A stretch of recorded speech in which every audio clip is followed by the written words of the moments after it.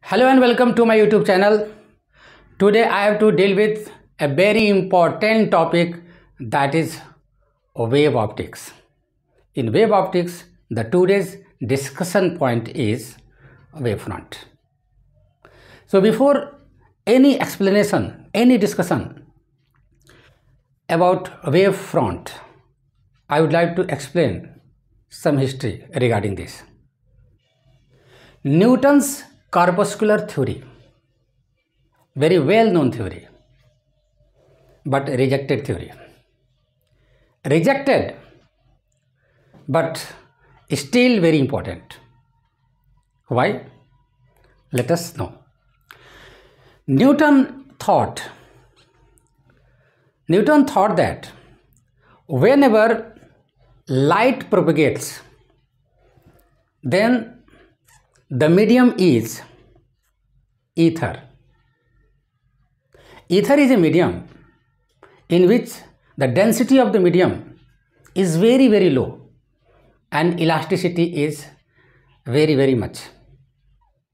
So this is known as a medium that is ether.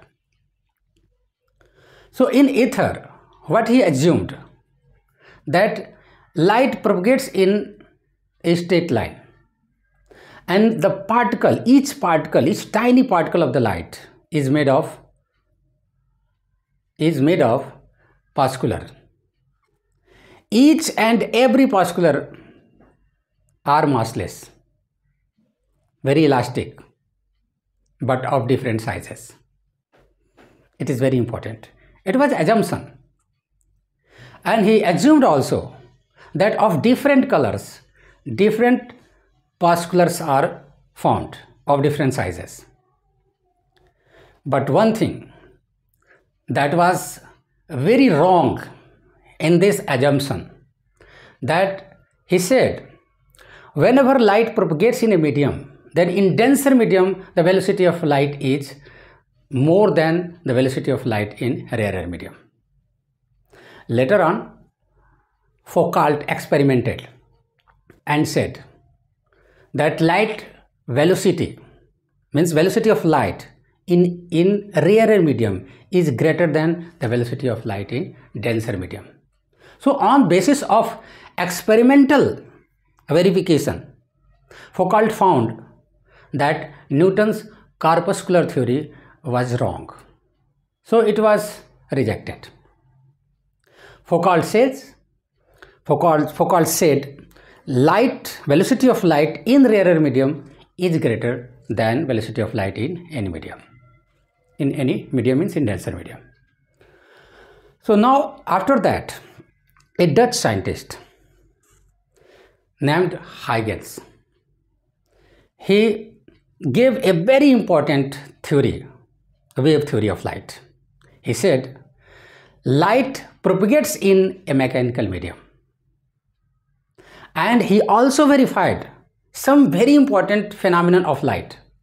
Law of refraction, law of reflection, diffraction, interference of light, but polarization of light was not verified by this because he assumed light travels in mechanical medium. Right now at present you all know that light is electromagnetic wave which doesn't require any medium and that is transverse in nature. So on the basis of this concept the polarization phenomenon of polarization was not explained by Huygens. Therefore, Huygens theory was also rejected. But still, it is very important for scientific purpose. So let us begin with the wavefront today. What is wavefront?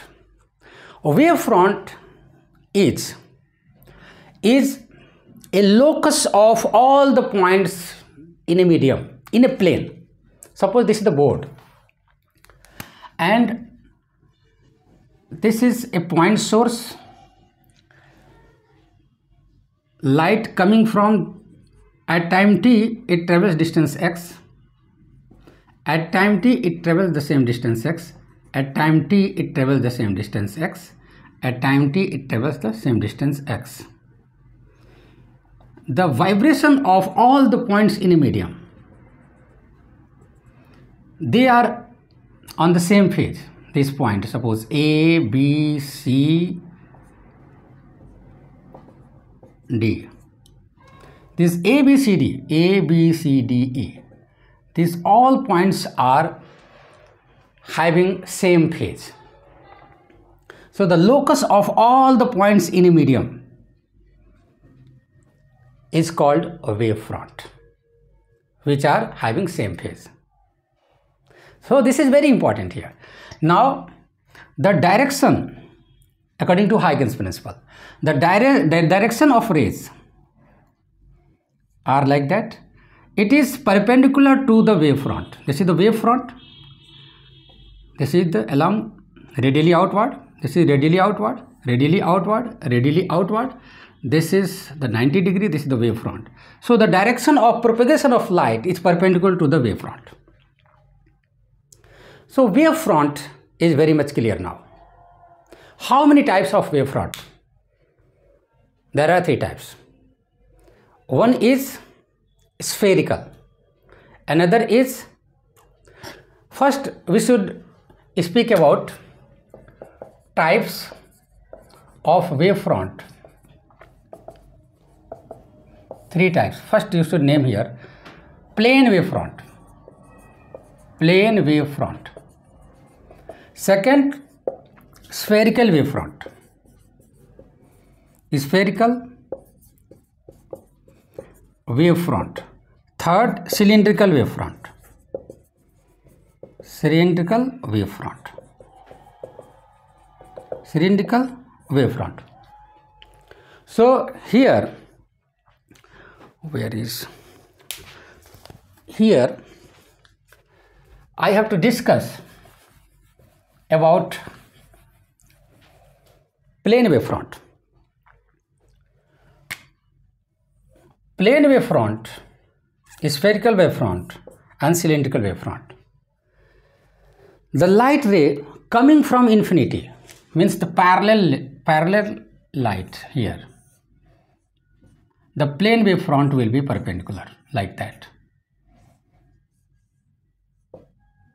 This is the direction of propagation of light and perpendicular to this direction of propagation of light wave front plane wave front is perpendicular. So plane wave front this is the this is a diagram. Okay? Now spherical wave front spherical wavefront is due to the point source. A point source is here and light is coming out from here. Light is coming out from here. So this is, suppose this is the point source, then the spherical wavefront will be formed here like that. And a cylindrical wavefront.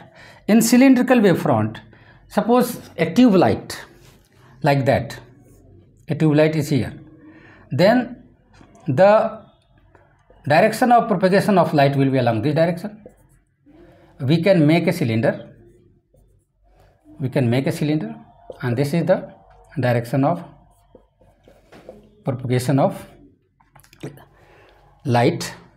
This is the direction of propagation and this is the wavefront. Okay? So this is the cylindrical wavefront. So there are three concepts here. For plane wavefront like that. Spherical wavefront due to point source and cylindrical wavefront due to the line source. Line source you can make like that also. Draw a line here like that. Draw a line, line source. Draw a line here.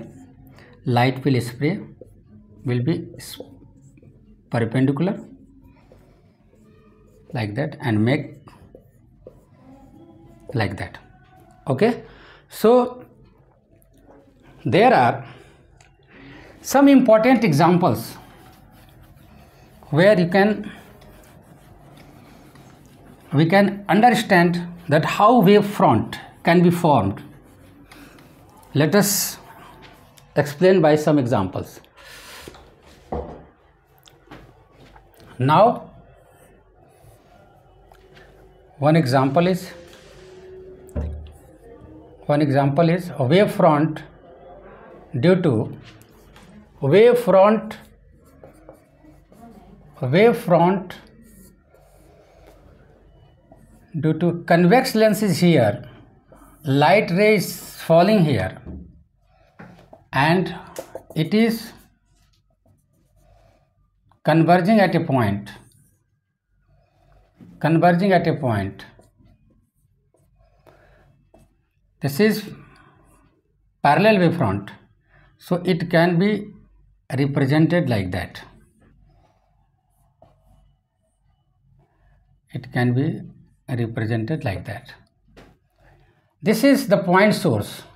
You can assume that. This is the point source. The spherical wavefront can be formed like that. So due to the wavefront due to the convex lens image form the infinite rays are falling on the convex lens and converging at the focus. The wavefront can be made like that. Now the second in concave lens light is falling on the surface and it will spread. It will meet here. This is the point here. So the plane wavefront will be formed.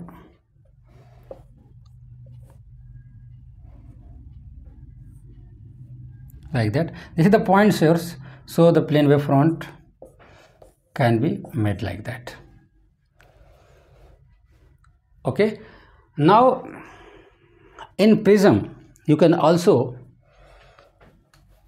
make in prism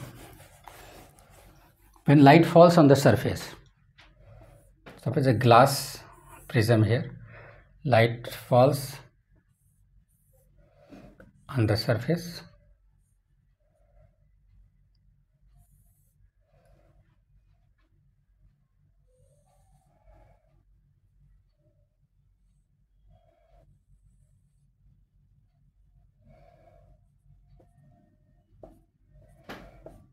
like that like that. So plane wave front will be formed like that. Here